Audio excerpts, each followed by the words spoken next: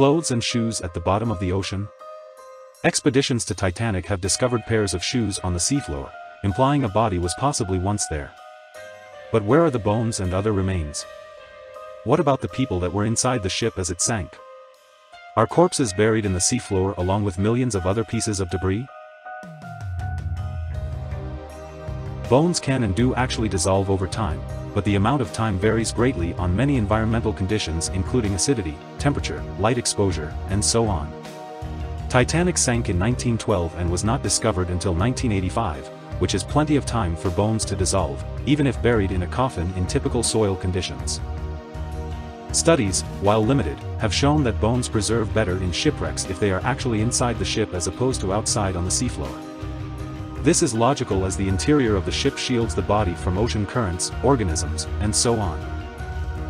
There are very limited studies detailing the dissolution time of human remains in saltwater, especially at extreme depths. The extreme cold of the deep North Atlantic means far less organisms than at a shallower depth.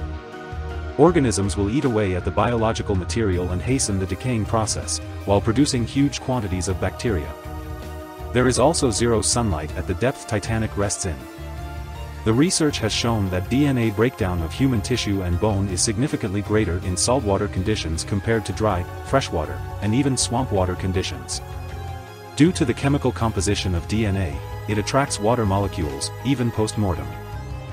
When bodies are submerged in water for extended periods of time, the process of hydrolysis greatly accelerates cracks forming in the bone which water can enter. And as more water enters the cracks become larger, resulting in a domino effect. This results in much more rapid macroscopic loss of bone. Other shipwrecks older than Titanic have had skeletal remains discovered inside of them, but these were at much shallower depths where the water pressure is much lower.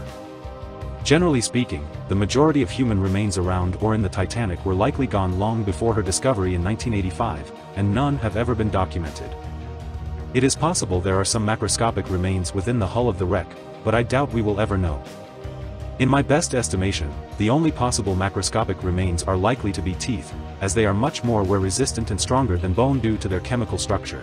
Which is why they are often the only things left from a body that has been decomposing for a long time, which makes them valuable in identifying the deceased.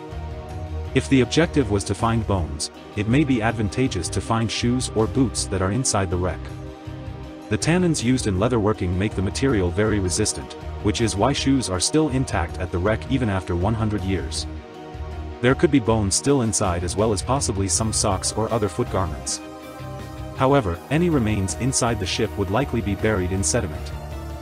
Nobody is going to attempt to dig around inside of a crumbling, internationally protected shipwreck two and a half miles deep for some bones or teeth.